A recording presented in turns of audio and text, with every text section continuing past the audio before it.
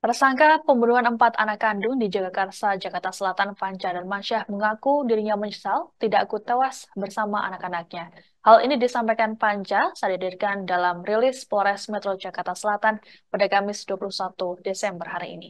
Dalam keterangannya, Panca mengatakan dirinya merasa heran tidak bisa menyusul anak-anaknya yang tewas. Padahal ia sudah melakukan segala upaya untuk mengakhiri hidupnya, bahkan sebanyak lima kali yang dilakukan sejak Rabu 3 Desember atau hari kejadian hingga pada tanggal 6 Desember. Seperti diketahui Panca saat ditemukan pertama kali dalam keadaan terkapar lemas di kamar mandi dengan lengan terluka. Sebelum mencoba mengakhiri hidupnya, Panca membunuh empat anaknya dengan cara membekap mulut dan hidung. Aksi ini dilakukan Panca dimulai dari anaknya yang paling kecil berusia satu tahun.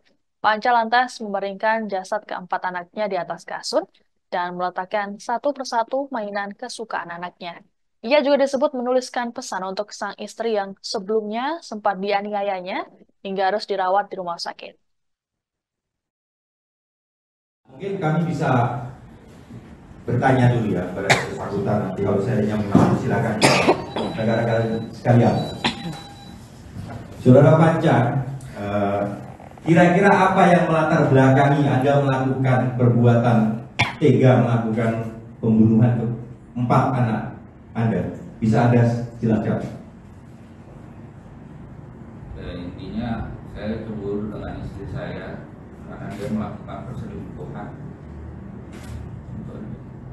Anda merasa menyesal nggak atas perbuatan yang Anda lakukan?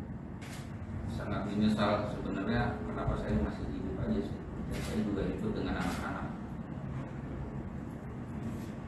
Jadi Anda berpikir setelah Anda melakukan pembunuhan terhadap anak Anda dan Anda bunuh diri gitu? Iya benar. Tapi saya masih ternyata masih dikasih kehidupan dengan lima kali percobaan. Anda menyesal? Ya untuk saat ini saya menyesal atas perbuatan saya. lima kali kapan aja itu Panca? Ya, mungkin demikian ya. Jadi bisa langsung ya.